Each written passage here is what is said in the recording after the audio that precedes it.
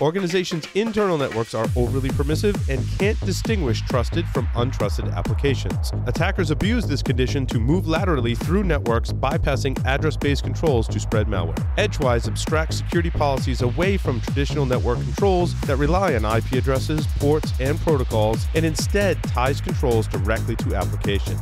Edgewise allows organizations to analyze the network attack surface and segment workloads based on the software and how it's communicating. Edgewise monitors applications and protects data paths using zero trust segmentation. Visit edgewise.net forward slash security weekly to get your free month of visibility. Some restrictions apply. Are you an enterprise dissatisfied with overpriced analytics software that can't keep up with modern data? If so, then Gravwell is the solution for you. Gravwell is an unstructured data analytics platform for enterprises who demand total data visibility across their network. Gravwell lets your security team go beyond the SIEM and fuse data sources to correlate and answer questions you didn't know needed to be asked. Go to gravwell.io forward slash security weekly for an unlimited data trial and gain uncompromising visibility today. Endgame's converged endpoint security platform is transforming security programs. Their people, processes, and technology with the most powerful endpoint protection and simplest user experience, ensuring analysts of any skill level can stop targeted attacks before information theft. Endgame unifies prevention, detection, and threat hunting to stop known and unknown attacker behaviors at scale with a single agent. For more information, visit endgame.com. Welcome back, everyone, to Paul's Security Weekly. I even have a, a keyboard that like does stuff so I can read uh, an announcement. How about that? Because that's what we're going to do. Some of you told us that you're overwhelmed by the amount of content that we distribute. In an attempt to make things a little easier, you can go to securityweekly.com forward slash subscribe. Subscribe to a special mailing list that will ultimately uh, enroll you in a program that sends you notifications about content we publish if it's in your interests. So make sure you do that. Securityweekly.com forward slash subscribe. Also, forward slash guests allows you to suggest guests for the show and stuff you want to see us put in in the blender, I suppose. Corey Thuen is here with us. He's the CEO and co-founder of Gravwell. Did I pronounce your last name correctly? Every time I said I feel like I'm pronouncing it wrong, Corey. Well, every every time you say it, it's slightly different. Uh, so uh, they're they're pretty close though. I gotcha. That's good. Wait, every time you say it, it's slightly different, or every time I say it, it's or both? No, every time you say it, it's oh, slightly different. okay. I'm just you know I'm keeping you on your toes, keeping Yeah, things it's good. It's good. keeping things interesting. Uh, so, uh, Corey, wh- what is Gravwell? Remind our audience uh, what you guys do at Gravwell and set the stage for uh, this segment. Yeah, sure. So uh, we do um, data analytics, uh, like the uh, you know the rolls showed earlier. Uh, the idea is uh, we can take in data from any kind of data source and play with it without having to know what it was beforehand uh, or anything about that. And that sort of plays into what we're going to be talking about today, since this new um, data source is is new as of Tuesday. So we didn't have a lot of time to to build up complicated indexes or anything like that on some of the stuff. Um, so That's awesome. that's what we do. so you you take on structured data perhaps and make sense of it. Yeah, we use uh, use a query syntax to uh, to do some hunting amongst the data, ask a lot of questions, um, do statistical analysis, ML stuff like that, uh, and then you know you build your dashboards and your reports and your uh, C-suite type stuff on top of it. Um, but uh, helping to make sense of the data, similar to like a Splunk or an Elk or uh, along that vein. Um, but we we really focus on that unstructured first, uh, ingest first, ask questions later Mm-hmm. aspect to things. And the data fusion part is really important. And if we have time, we'll get into a little bit of that today. You know, I I wrote this crappy Python script once that took in unstructured data. And uh, I I was really frustrated, so I give you a, a whole lot of credit for doing what you do, Peter. I sh- I'm sure you guys do some of that uh, similar kind of operations as well. Last week we also talked about uh, EQL, which is Endgame's. Uh, have you seen that, Corey? Uh, Endgame's release to kind of uh, basically ingest data and then allow you to do simple queries against it. Uh, no, I didn't actually. Check check that it out. it's pretty cool. It's in your in your wheelhouse. So, uh, so the announcement this week, Corey, was speaking of getting more more data, right? Yep. If you don't have Gravwell, you're probably like, oh my god, more data. If you do have Gravwell, uh, you're like, more data is great. We're awesome. It's nice of you to really set. You're just softballing these over at me. you, you like that? I huh? really appreciate it. the hard questions are going to come towards the end of the segment when Oh, I'm okay, gotcha. almost done with my scotch uh, or bourbon rather. so, um, what happened was that DNS logging is now incorporated into Sysmon. Yes. What does that mean? Ex- is- what does that mean exactly? Is that like what, all the queries and responses, and like what kind of format? Like how does that work? Yeah. Uh, yeah. So for uh, for people who don't know, um, and I have some visual aids if we'd like to throw those up as well.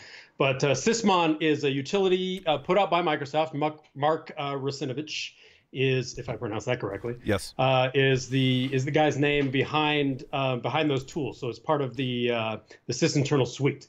Which, if you haven't played with those and you are responsible for IT of Windows systems, that's definitely something that you need to get in and check out. Um, but the big thing that came out this week is they added uh, two major things. They added DNS logging, which is really huge uh, because uh, historically that's been pretty difficult. Um, and then they added the original file name. So on process create, they added another field that gives you a little bit more data uh, of importance about where these processes are coming from and, and what's going on. I got you. Uh, so in the base uh, of the new release, do I know which process made that DNS request based on my Sysmon logs? Yeah, That's yeah, that's we'll, we'll, awesome. we'll get into and show uh, some some what the actual event looks like. We'll Yep. we'll really you know, get into the weeds here because that that's, that's something. Because listening to you in the beginning, I was like, well, I mean, I can turn logging on on my DNS servers. I can get query logs. That's cool. Uh, I can turn it on on the network. If I get a bro sensor, it tells me all about what DNS queries are happening on my network. But the piece of data that I don't get, unless I want to try and do some correlation, is which process on that system made that request. That's an important piece of data. Yep, exactly, exactly. And uh, there is a caveat to keep in mind because this is coming off of the endpoint. So if it's an attacker-controlled endpoint, then potentially you've got uh, uh, the ability to prevent this data from going out. Uh, but you've at least got it up to that point. Yeah. Right. If assuming that you're centralizing or sending, you know, the event logs out of the endpoints. Um, but the Yeah, Corey, it was, uh, great for that. Carlos Perez that talked about a couple of different techniques to uh, bypass, get around, or manipulate Sysmon data so that it's not logging what the attacker is doing. Mhm. And I'm Yeah, not yeah, sure so- where Microsoft is in, you know, kind of that cat and mouse game, right? Because basically, I think what you were getting at, right? Anything that happens on the endpoint, if an attacker controls the endpoint, that means they can influence and or control anything that happens on the endpoint. So all bets are off. Yeah, once once they're there. Uh, so it's still important to do your network-based uh, or or service-based logging. So if you've got DNS servers, you know you want to be logging those. You want to be doing using your Bro or something to pull Mhm. um, DNS out of there. But uh, but yeah, from the endpoint now we've got a real easy way to see which uh, process was making those requests. That's awesome. So you, do you have a, a demo or materials? Yeah, let's just jump right into it. So um, let me um, let You're me gonna- try this and see if sharing the screen is going to work with Skype. I'm on Linux, so um, screen sharing in, in these types of things. Is I knew I liked you for a reason, Corey. That's just one. It's just one reason why I like you. Just one of them. One Uh, of many. right, so we got we we good on uh, on this. Uh, I can see it, screen yes. Here. Looks like Yeah. we're good. All right. My God, all that crazy Linux talk. Yeah, we're good. All right, cool. Uh, okay, so yeah, so so I just put together a brief slide deck. This is mostly for me because I have trouble following a, you know, an outline of what we actually want to talk about if I don't have some some type of Sure. uh, thing going on. So yeah, so Sysmon, uh, uh, we already kind of talked about what it was. Uh, the link is there. Uh, if you search Sysmon, it's the, it's the first thing. Um, but this their their advertisement or, or their description of it is yeah, get, getting additional events out of Windows.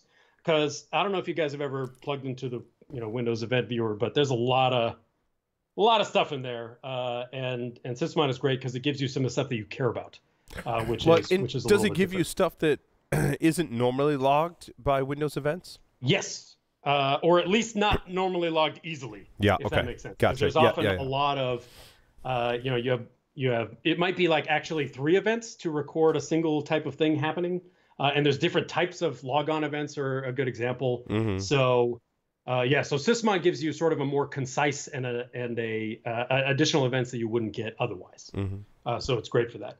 Um, and it's free, as in beer, uh, which is definitely uh, an awesome thing. So for uh, you know enterprises or, or SMBs that are um, uh, you know you've got budget uh, that you got to worry about and all these things, Sysmon gives you it's sort of that Pareto principle. I like saying the 80 20 20% of your tools get you 80% of the way there. This is one of them. Mm-hmm. Sysmon uh, really gets you a tons of stuff. so if you don't have some enterprise endpoint thing, then Sysmon is, is fantastic. And the installation uh, is super easy. It's it's uh, it's a command line if you're going to do it on a on an endpoint or you know use group policy or something to push it out, and then run it, and then it's up and running right away.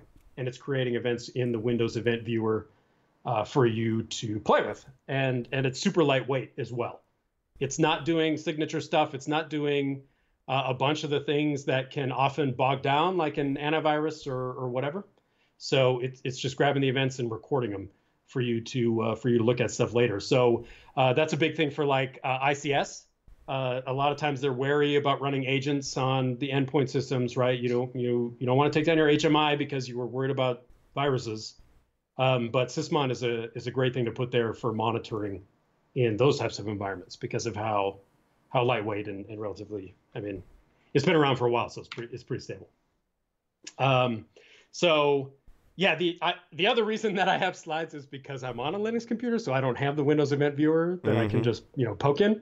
So I took some screenshots. Um, so this is an example of like the security uh, quote unquote Windows logs.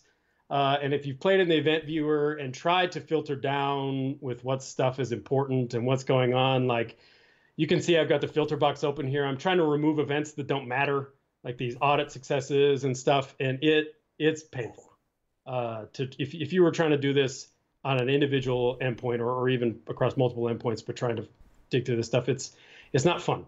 Um, and so that's something that Sysmon really helps out with because it really it, if you did if you didn't have to worry about any of this stuff and you just focused on Sysmon, it wouldn't even be in a bad position, right? If you're going to focus on one type of Windows event, just using Sysmon it isn't terrible. Uh, so what does an event look like? So let's just fire up PowerShell. We'll run calc.exe, right? And we'll see what uh, what shows up in Sysmon when we do that. and uh, in the event that's created, I'll zoom in on it in just a second here, uh, shows up as a process create event. Uh, so this is a Sysmon rule that uh, that will log all process creations, and uh, these are some of the details. And so it's got like the command line, it's got the parent image uh, down at the bottom there. You can see that it ran from PowerShell, the parent command line, the user that ran it, the system that it ran on. It's got a GUID for the process, like lots of good stuff in here for if you're going to be doing threat hunting uh, or you know even just user behavior analytics uh, or that kind of a thing. Uh, this is some good information about all processes that are being created on your systems. And uh, so Sysmon allows you to get this stuff in a in a you know this is a single event, so that part's really nice, uh, and it includes some configuration things. So you can create like an XML file of some configuration stuff that you want to do for Sysmon to uh, to be able to um, set up some filters and some things like that. Because if you don't filter anything, uh, obviously if you're logging every single process that every one of your endpoints ever creates, that could potentially be more data than you can handle or you know your analysts are comfortable uh, digging through. And so there's opportunity to do that, which is now where Taylor Swift enters the picture uh, in terms of uh, you know those configuration stuff for Sysmon. Um, so uh, if you guys are uh, you guys are familiar with the uh, Swift on Security uh, Twitter account, right? Yes. great source of entertainment, yep. great source of knowledge, and and stuff in this space. Um, uh, so the the configuration file, actually, these are a couple of example events. So we'll touch on these first. Um, like here's an example of the uh, process create event that we just showed uh, earlier. Um, but yeah, actually, we'll get into DNS in just a minute. So let's talk about the Swift on Security uh, XML file. So this is available uh, publicly on GitHub um, and and put up here uh, through the Swift on Security account. Um, lots of great configuration options within here, and installing this configuration file is just something that you give Sysmon exe uh, at your runtime. Uh, you'll point it at uh, a configuration file, and that will automatically configure it. It'll set up and, and read the file and do all the filtering and, and everything like that. So um, it's a really great baseline. And if we dig into, I think it would be a great idea to just kind of poke through this file a little bit to see some of the stuff that it does. Um, and I guess as a caveat to this, uh, we're sort of assuming a little bit that there's some, like the sysmon aspect to this is going to go a little bit fast. Uh, so, so if you are unfamiliar with this entirely, um, there's some good resources to go through and dig through it, uh, or you know, ask questions in in chat or forums or email or whatever. Beyond, um, but yeah. So the so the sysmon configuration file, uh, Taylor Swift um, has done a really great job commenting this out, so that you can tailor this to your individual organization as well. Uh, so, so for any one of these rules, there's usually some comments about why they're there.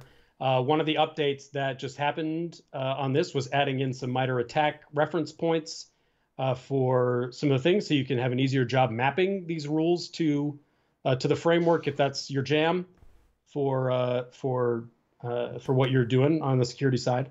but as you can see, like it, so if so, we look at the process create event, and then we're going to do an on match exclude and so we can come in and get rid of a bunch of noise that would sort of otherwise uh, be overwhelming to the process creation uh, logging events, especially when you're, uh, if you don't have some really awesome tools like Gravwell to dig through it, um, and you're trying to do this a little bit more manually, uh, then that could be trouble. So getting some good filtering in here uh, is a good idea. But obviously, when you're doing filtering like this, um, if an attacker has control of the system in some way that they can change their payload to mimic one of these executables, then you're game over uh, anyway, right?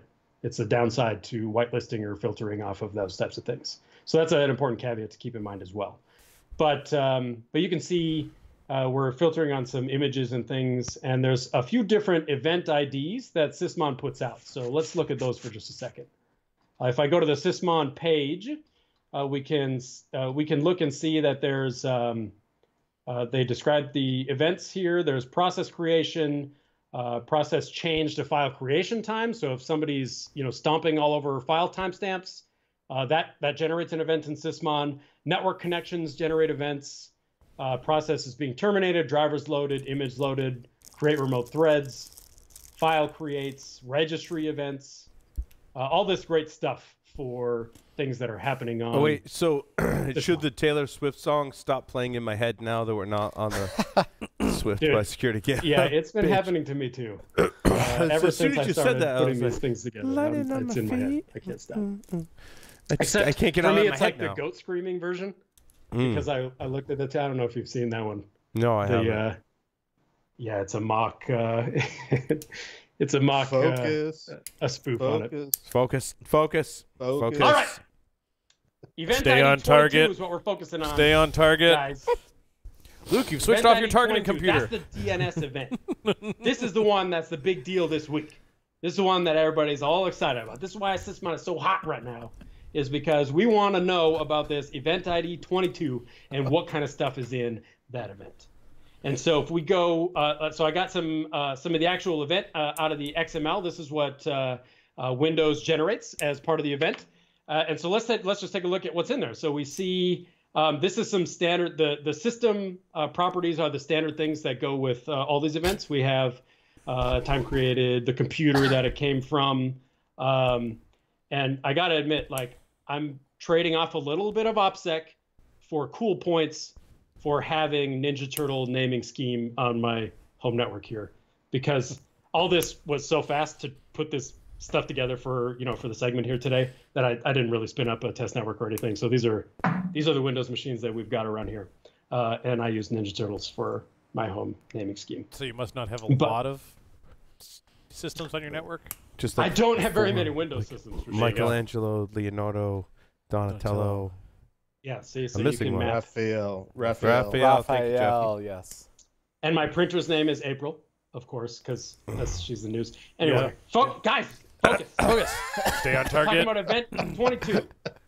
I stay out too late. But wait, That's what's the got our guy's name in the hockey mask? It's got our process GUID, and it's got our uh, query name, right? So in this case, uh, basically the Windows machines in my house are gaming computers, and that's pretty much all I use them for. So this is BattleNet uh, reaching out to uh, to do some stuff. So we see the query name is BattleNet.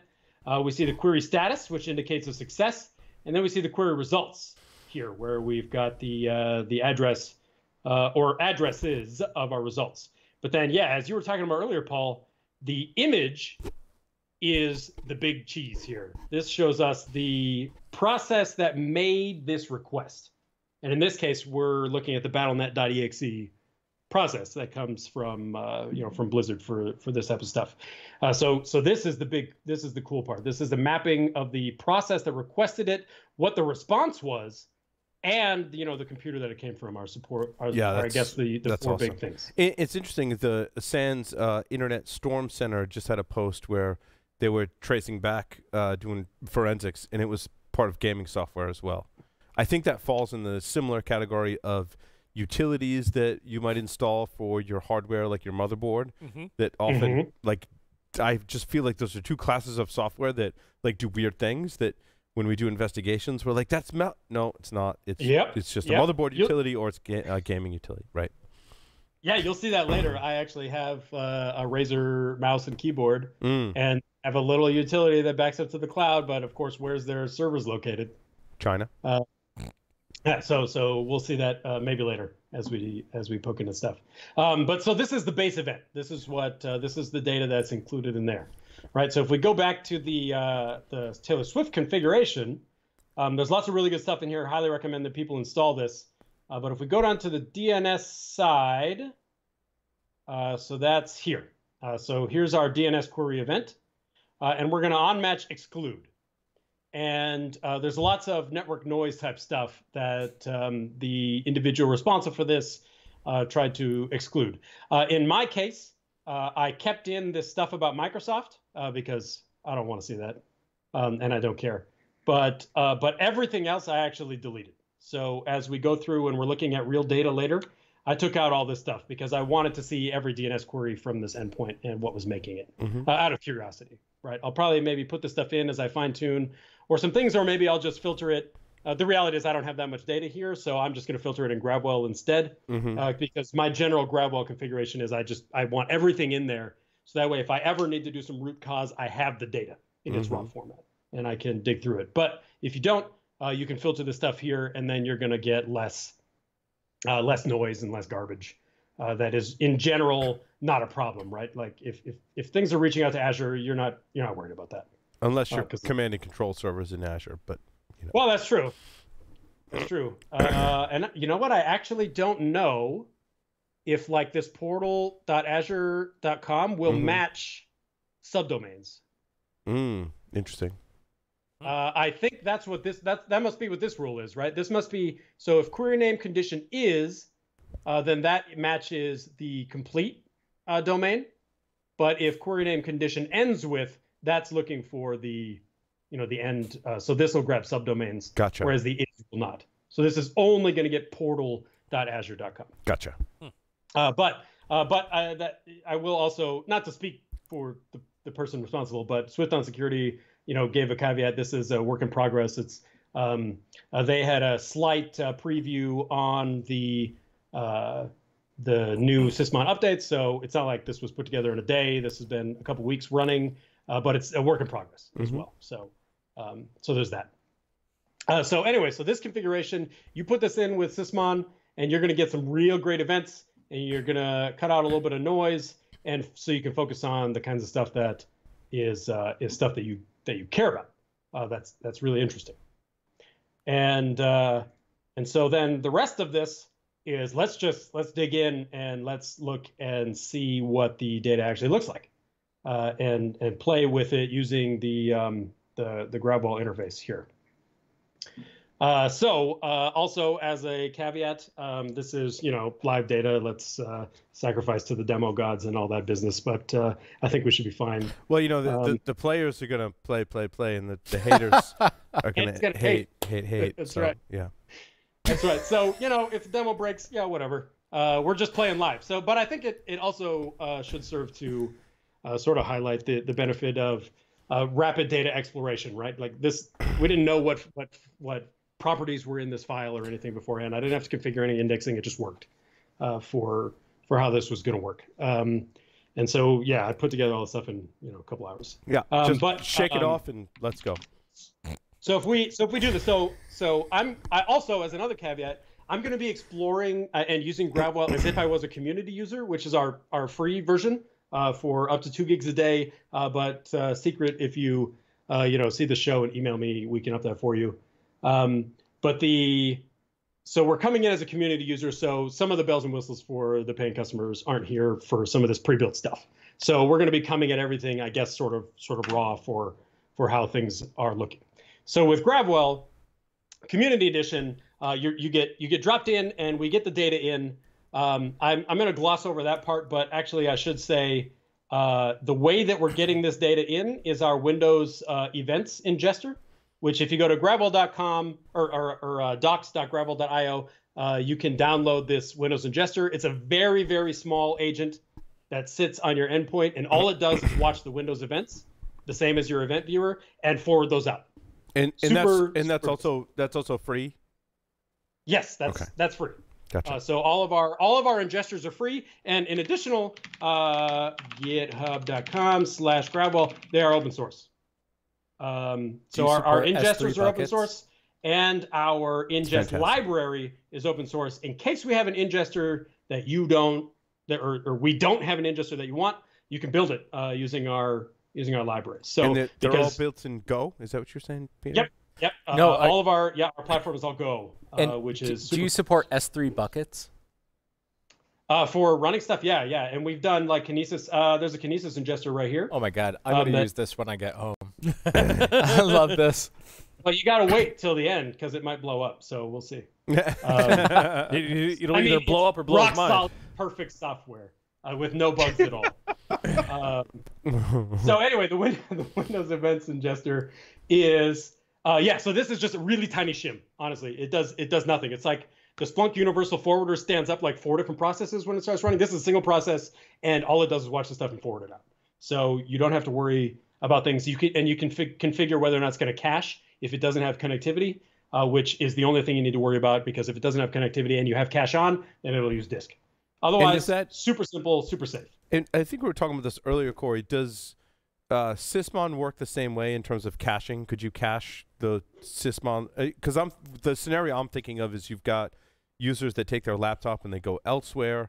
Maybe they come back Mhm. and they connect to the domain. Do I then get those logs Yep. when they were off the network? Yep. So uh, so the Windows Event Viewer will keep those events, uh, and so if you uh, if you don't have something like Gravwell, you can go back in time for as long as the win- as Windows keeps those around. Mm-hmm. But if you do have the Windows and ingester on there, it'll read them and cache them in our format, uh, and then ship it out as soon as it can reach Sweet. again. Uh, and all that's encrypted and authenticated and all that business as well. So it's not going to randomly send them to some system that listens on a port or something like that. Gotcha. Uh, okay, so uh, so that's how we get data in. There's a blog post uh, that we have that sort of goes over uh, Sysmon and getting data in. So we're going to skip over that and just uh, get to the part where we're looking at the data. So um, if you've used something like the Linux command line or Splunk before, you've probably seen a query syntax that's very similar to what we're doing. We're we're going to be building up a pipeline of modules that are each module does one thing and does it well and then you pipe them together to come up with your final analysis or your result about the kinds of stuff that you want to do. And so if I don't give it any modules and I just say tag equals sysmon, then I'm going to get back all the raw data from sysmon. And so I show this only because to illustrate again, like the raw data is there. So any visualization we make from here on out always has that raw data under it so that if our parsing module or something like that uh, had a bug or, or couldn't see uh, some data or the attacker had cleverly hidden it in some other way, you can always get to that raw data. It's not normalized. Uh, and that's a really important aspect to uh, what we're doing here, what we're talking about. Uh, so as we saw uh, on the, the Sysmon page, the event ID for the DNS is 22. And so, uh, so I'm going to invoke what we call a, uh parsing module. Uh, and so this is our winlog module. which will extract uh, events from the Windows XML. So sort of a shortcutty, um, uh, you know, helper tool for analyzing that. Because we also have an XML module, and you could do all this by hand in that, but we have a WinLog module to make it a little bit easier. So we're going to extract the event ID, and we're going to match it against 22. So that way we see only events 22, and we can see their general frequency in here. If I see a spike or something that I'm interested in, uh, at any point in time, we can zoom in on that and see the results, uh, and then um, go back. And that doesn't relaunch the search. Uh, that uses our, our, our awesome second order searching within the stuff without having to do that. And Um, uh, but- Corey, a, ahead. kind of inside baseball question. Um, your your back end and your uh, plugins right are written in Go. What's the front end written in? Just out of curiosity. Oh yeah, front end. No, no problem. Front end is uh, Angular. Uh, it's an Angular single page web app. Okay. Um, so you're a bunch of stuff. Our charting library is uh, eCharts, but uh, mostly Angular and some stuff like that. Sweet. Um, yeah, I don't mind saying. Um, Awesome. So, uh, which also enables some kind of cool things uh, where you can do like uh, uh, some custom visualizations for Mhm. customers who want that type of thing. Uh, we can easily take those modules and, and put them in because Angular is cool that way. Um, but yeah, so uh, so if we want to extract like all the different fields in here, let's let's just grab um, uh, all of them, and I'm gonna paste a paste a query instead of typing it out. So here we we're going to extract the things that we kind of care about. Like let's grab the computer that issued the request, the process ID, the query name, query status, query results, and then the image, uh, which is the exe in string format that uh, that resulted in in the thing. And then if we pipe that, so here's our first pipe, uh, where we're taking the results of that extraction module and we're going to pipe them into our table, which is what we call a rendering module. So this is a module that takes the data in whatever format it has received it and displays it in a, a human readable way. That's really Uh, cool. we'll- you can build tables like that on the fly within your interface. Uh, Yes, I exactly. That's That's, awesome. that's pretty Yeah, that's slick. awesome. That's pretty slick. I'm, Yep, jeal- I'm so- jealous. I, I like use jQuery to build tables, and it's really ugly. Yeah, that that's sucks. you. Yes, you have. you. That that. is. Uh, there is no other way to describe it other than what Corey said. Uh, yes. Uh, so so we see uh, so yeah so then we get our, our basic table of the kinds of stuff that's going on. You see a lot of uh, and this is live, uh, so whatever is happening and, in the and last that's 16 and, and Corey, that's everything, right? That's everything in the data set, just in a tabular format, right? everything in the data set in a tabular format within the last uh, I think I searched an hour. Yeah, within Okay. the last hour. Mm-hmm. Uh, yeah, I guess it says it right here, 344 to 444. Uh, so this is because I'm Pacific time and it localizes. So so this shows us like there's some Chrome and, and Steam and a bunch of gaming stuff. Um, we'll get. Uh, I ran some interesting things earlier, so we can we can poke at that in just a second. Um, but then yeah, so then uh, you know within within Gravwell we can take and do some of the stuff and apply some basic stats analytics uh, to to play with and extract some some interesting things. So if you'll see that the query results is uh, not super readable, like it's not just an IP address, right?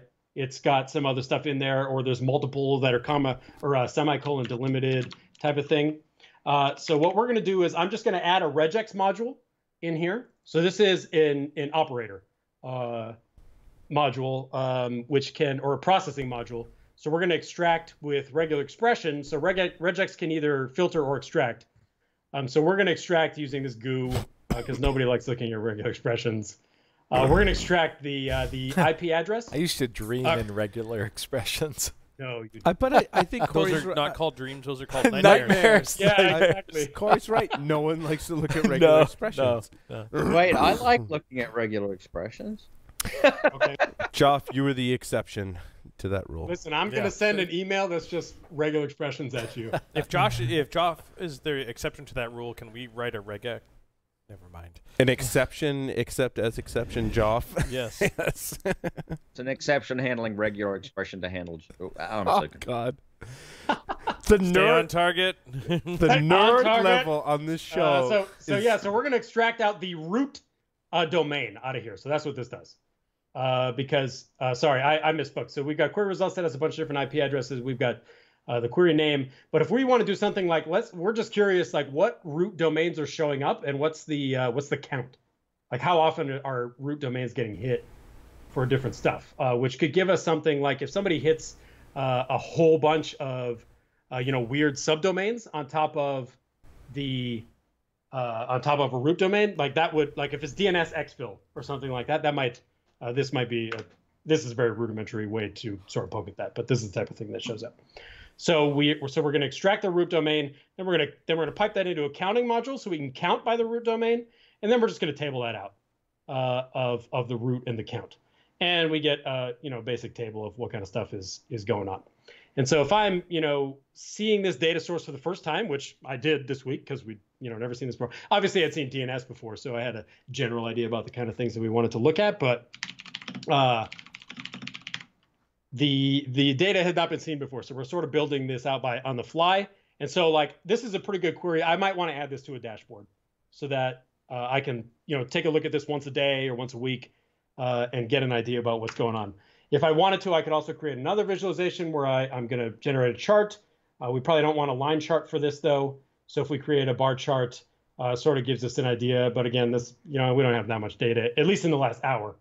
Um, for this. Uh, I could search over the last day instead uh, and get a little bit more uh, interesting visualizations for stuff. It's pretty There's a big old responsive. spike right yeah, there. that- yeah, Peter and I just looked at each other like that. That was really cool, Yeah, no, and it that's- renders that's really. great. I don't know how, how big your data set is, but that renders pretty pretty fast. Uh, yeah, it, well, that's the that's the nice part is it, it's um, the data set. Uh, if if you've got like like our largest deployment is uh, has been over 100 terabytes a day, and so like if you're issuing like this is this is an aggregate search, right? I'm I'm counting by something, Mm-hmm. and so uh, if you've got an index, like there's things that you can do to speed it up, but like if if you didn't have any indexing set up or anything, um, then yeah, you're going to be looking at every entry and counting it up. So that could potentially be you know uh, a big problem. But that but that worst case scenario is what we entirely built our platform to handle and optimize around as a first class citizen, so that when you are asking questions that you didn't know you needed to ask, Mm-hmm. that those ags are still fast. Right. And so even on large data sets, it uh, it can still it, it can scream. But obviously we're not magic. We can't outrun a disk, right? So if you're trying if you got to pull the data off a disk, then that's as fast as you can possibly be Sure. for Store it in RAM. Store it in RAM. M M dot two. Exactly that's you know that's the recommendation. So it depends on how big your cluster is. Put in RAM. If you can keep like the last week in RAM, then it makes it super easy. And to newer speed dot and- two is pretty. I mean, it's like slower kind of RAM, but it's still pretty freaking fast. Slower kind of RAM. It's like slower RAM, but it's. I mean, thirty five hundred megabits a second, almost read and write. That's that's pretty fast. No, that I mean, if you're in RAM, then you're plenty fast. You don't have, Mm. Then you don't have a concern. Then it's, Mhm. then it's the CPU is the limiter, but Right. uh, possibly. Um, but if you're on bu- disk, then that's where you yeah that's where you run into or the bus troubles. between CPU and RAM. Yeah. Mm-hmm. Mhm. Um, so I think yeah, what did I do here? So this is like uh, if I'm interested in um, like a donut for the TLD. Did I say donut? Is that what got Yes. everybody excited? No. I saw I saw donut and I immediately saw mm, donuts. donuts. So if we so if we regex out the TLD from like a query name, uh, you know, we can drop that into uh, into chart and, and right. So we're just we're just taking this domain data that came out of this new data source and manipulating it and asking questions of it to give us some visualizations that we care about, that we might be interested in uh, from a dashboard perspective, uh, but then also uh, you know from uh, from threat hunting, if we wanted to uh, to be able to dig in and and sort through this stuff in the end. Um, and I'll talk about that in just a second uh, as we get into sort of a canned uh, malware analysis type thing. But uh, one of the other things that we have are are what we call enrichment modules. So in this example, I'm going to extract the the IP address. I'm going to do some enrichment with geolocation using the MaxMind uh, database, uh, and then uh, throw that on a heat map, just to get an idea of like, hey, where in the world are are is our DNS resolving to? And uh, and and that could be like a like this is not that useful, right? These types of visualizations are cool uh, for like C-suite and to put on the wall of your sock on a big Mhm. monitor. Um, but this is potentially not that useful. However, uh, humans are really good at identifying patterns, and so if this is what looks normal, but then all of a sudden there's a more red area, you know, over here in this part of the globe, uh, you know, as a human, you can look at that and and identify that, and that's even something that um, you know those visualizations and identifying patterns of visualizations. Machine learning is is doing a lot of cool stuff, uh, but there's just some aspects to contextual awareness that we've got a long ways to go before that's that's going to do anything. Uh, so at least it's, humans are really important still for for security and uh, and looking at stuff. Yay, humans. Mm. Yay, humans! The machines aren't going to win yet. Anyway, um, At least not that they know of. would they know? Do Mm. they think in in that way? Uh, all right, so so let's let's skip to a query. Uh, now we're getting into uh, into some like actual like let's do some threat hunting and security analytics on this stuff, and see what kind of things we can work out in this um, admittedly mock scenario using real TTPs from stuff that we've seen, uh, but this is a custom uh, generated thing for what we're doing. So uh, so one of the so so at the top here we're going to do our extraction the same as we have been, but I added in this additional filter uh, just to uh, uh, filter out and and make sure that we're accelerating and grabbing our sysmon events.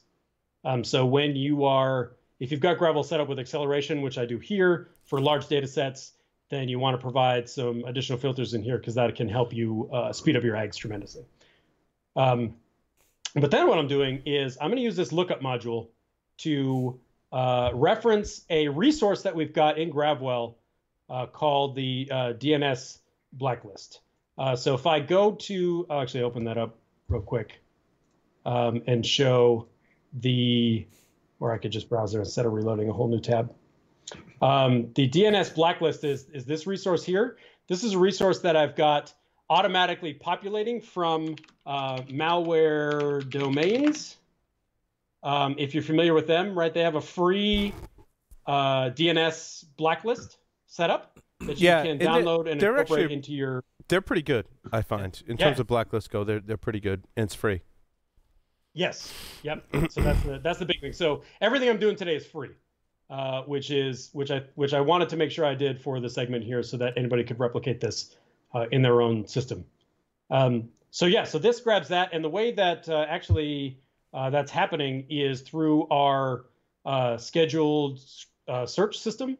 So we have an orchestrator and a scheduler built in here, um, and for really complicated, cool stuff that you want to do, we have this Anko scripting system. Exactly what this shows isn't important, but we're grabbing the uh, you know the domain updates and dropping that in there for um, for showing uh, or for populating our blacklist, which then we use again in this here query to analyze and see which DNS requests from our new data source are vi- in violation of this blacklist. And so we're going to take the query name, which came from the data source, and we're going to compare it against these uh, these values that are within this DNS blacklist. This is something you uh, just have to know, but our, our query platform will help you figure that out. And then we pipe that into a table. And so here are the violators because we're operating in strict mode on our lookup. So we're going to drop any entry that doesn't match our blacklist. Um, and you can do this the inverse thing with whitelists as well. So that's a big thing for ICS. Like you can whitelist all of your network flows and then set this up to automatically uh, monitor and email you or or hit a webhook or or do whatever if you see new network flows uh, that are showing up, which is pretty cool. But here we're just going to put that into a table, and we're going to take a look at uh, at what's in there. And um, and we've got a couple offenders here um, because I just I, I didn't have any actual hits, which hey, that's a good thing. Mm. But I looked at the DNS blacklist. This is what that list actually looks like for malware domains. I just grabbed a couple of them and you know made some D- some NS lookup requests to uh, to pull this out. Or I guess I use Chrome, not NS lookup, since Sysmon is awesome and it tells us which, Which process, process, actually yeah. made that request.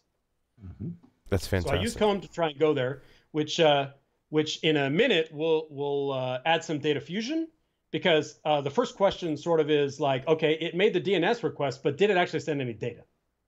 And so Yeah, we'll get to that in just a second. Likely But- Chrome Chrome probably blocked that uh, domain in its own blacklisting functions, right? Oh, I wish I could say that you're right, Paul. Uh, okay, never mind. It did not. It did does not. sometimes. I definitely could go there. It does Yep. sometimes. Anyway. Yes, it's true. It does. Um, but I guess uh, yeah. So I I, uh, I don't know. That could be a potential lesson in in uh, what's going on. Mm. Um, but the other thing that I did was so we have uh, some bit of sample malware that we uh, created using some TTPs that we've observed in the real world. Um, but what's interesting is we made this we made this malware in Go uh, that does this um, does some cool stuff, which we'll see what it does in a second. Uh, so I deposited it on this desktop and ran it. Um, this desktop C2I whatever uh, ran it, and and interestingly, the first DNS request that went out was came from unknown process.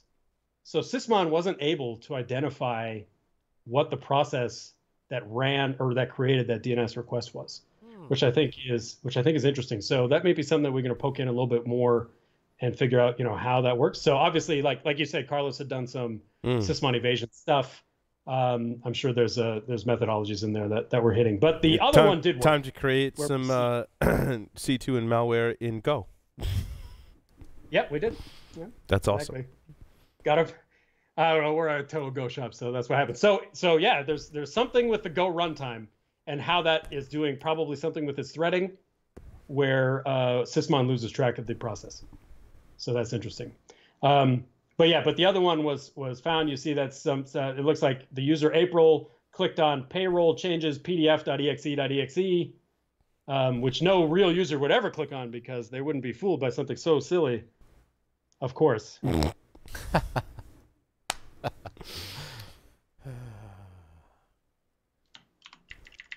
exactly.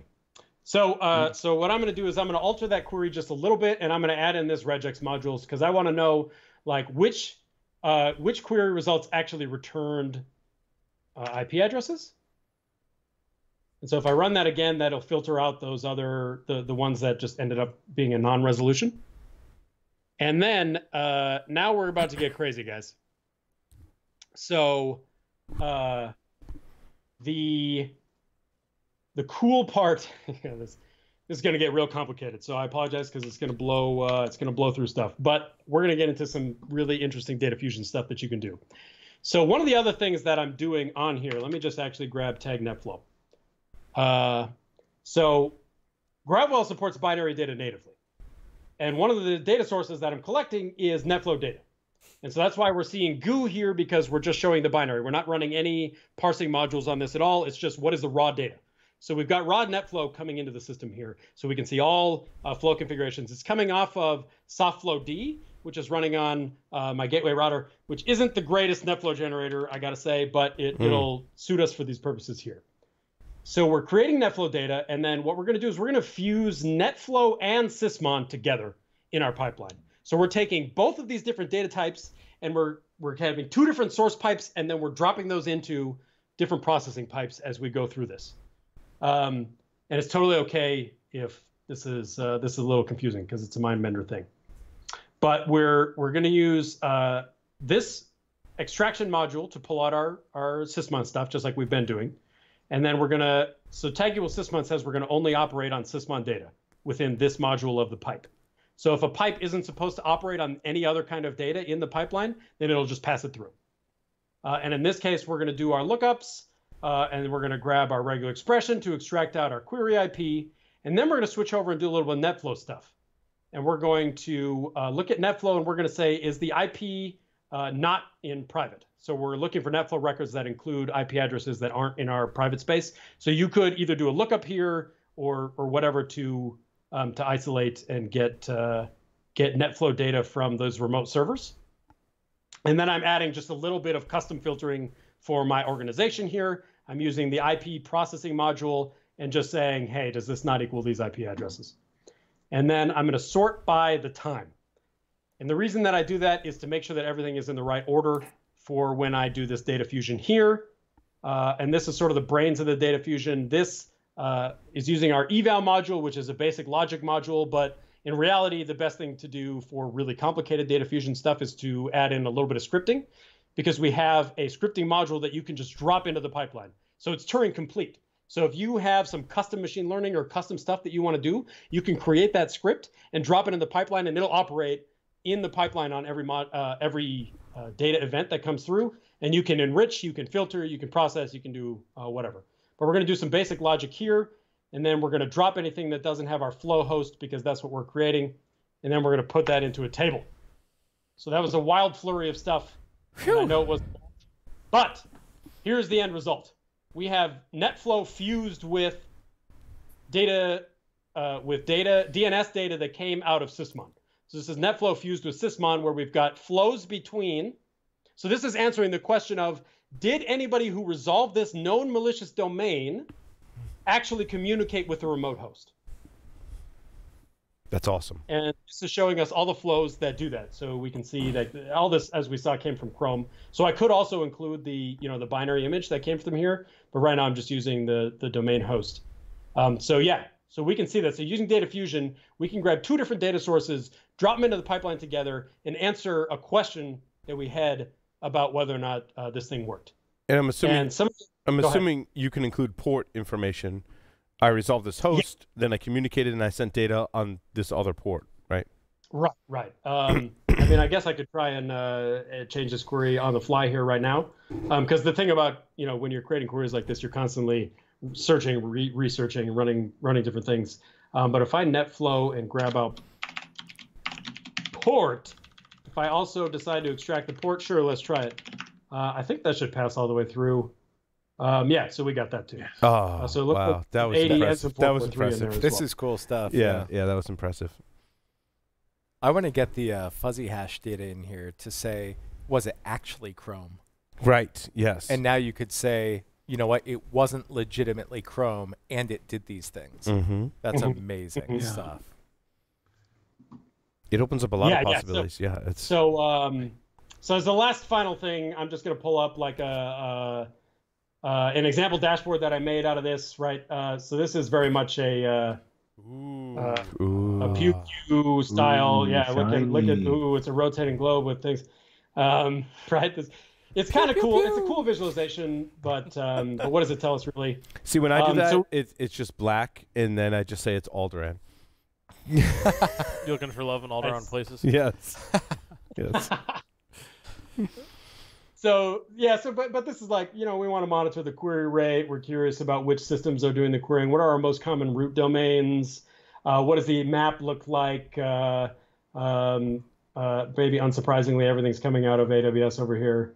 Um, what are the say- query results? Does that say so if we had, Pornhub.com? oh no, that's YouTube.com. Oh, sorry.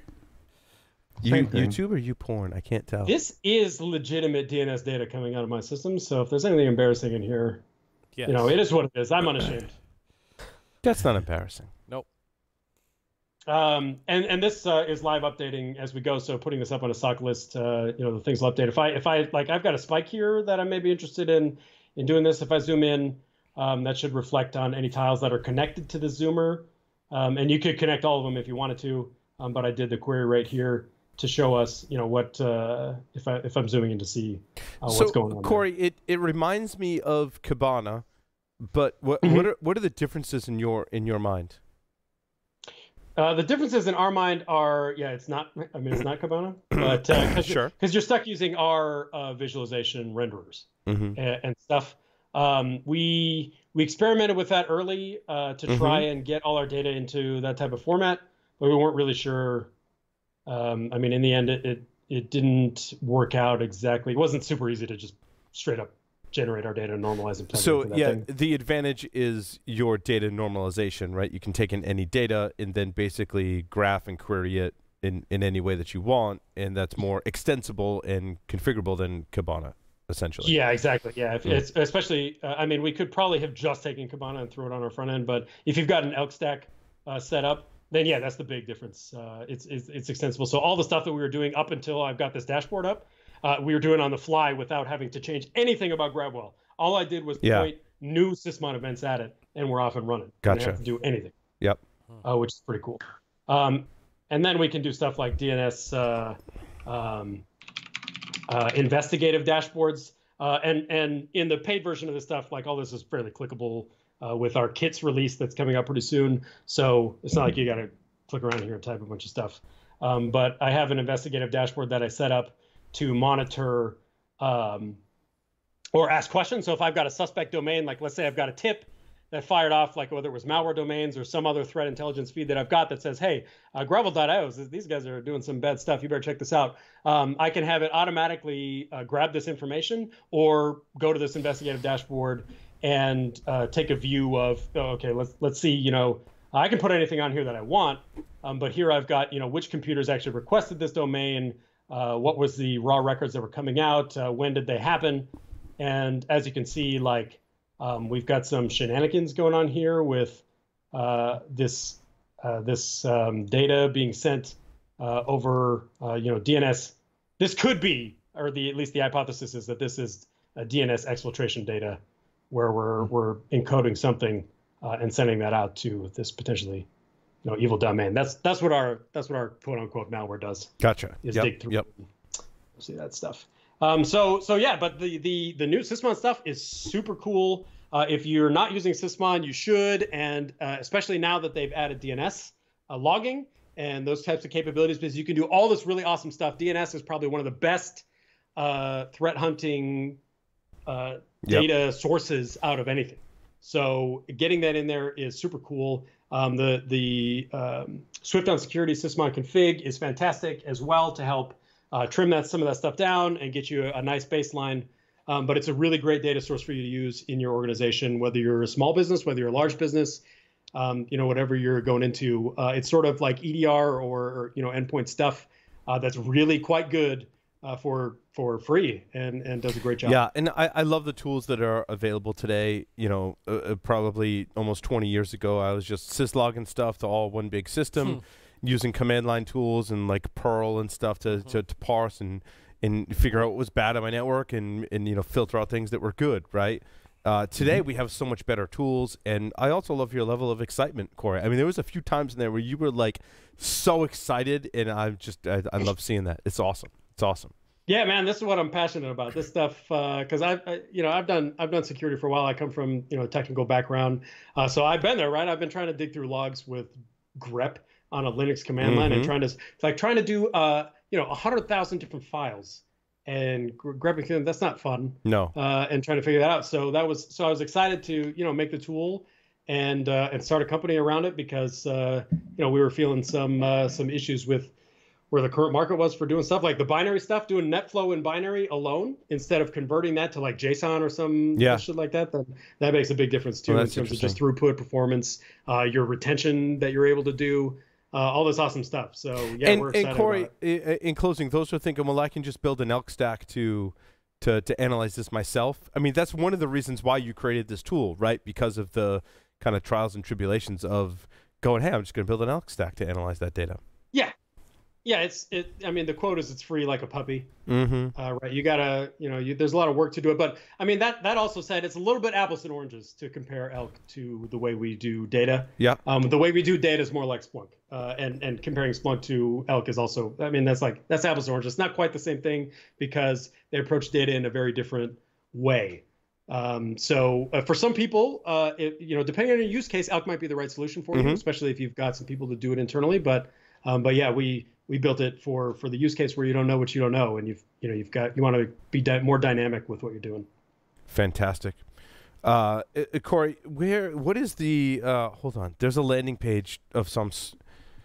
S- securityweekly.com forward slash gravwell you can go there find more information all of the segments that corey uh, and company have done on the show are and when you type there it in, you have to type the V in red and the W in. in, in blue Yeah, otherwise Yes. it doesn't work. there's a, a unicode gotta be character or some such thing that that can do that. So awesome, corey That's thank you so much for appearing on paul security weekly i encourage everyone to go to securityweekly.com forward slash gravwell uh, and find out more information get the free product uh, and play around with it and uh, corey's definitely done the five you've done the five questions before I did them a while Yeah. ago. Yeah, I was on a couple times. I've done five questions. absolutely absolutely what's your changed since. what's then. your favorite taylor swift's never mind You did it again. It was out of my head, Paul. i know Now what you've done. Now it's okay. And with that, we're going to take a short break, come back with the security news for this week. Stay tuned.